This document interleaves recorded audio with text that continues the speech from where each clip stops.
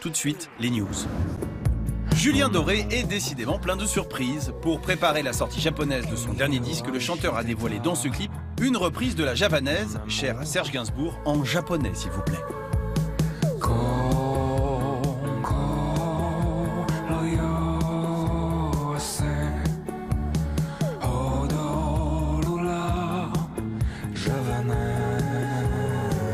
Mais notre Juju maîtrise-t-il bien la langue Chez Alcaline, on n'est ni bon ni mauvais, donc on est allé à la Maison de la Culture du Japon à Paris pour vérifier tout ça.